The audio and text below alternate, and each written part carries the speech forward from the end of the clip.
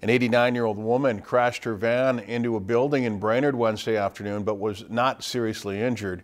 According to a report from the Brainerd Police Department, Bonnie Kuzik of Nisswa was traveling northbound on South 6th Street when she failed to stop at a red light at the intersection.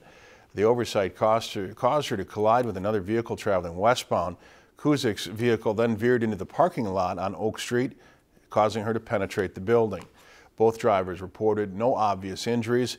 Kuzik was transported to the hospital as a precaution. If you've enjoyed this segment of Lakeland News, please consider making a tax-deductible contribution to Lakeland Public Television.